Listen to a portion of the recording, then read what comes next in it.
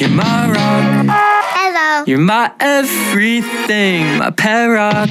I'd do anything to see you smile again. And I don't know when it went wrong. Woo! Just glad we're still yeah. friends. It's okay.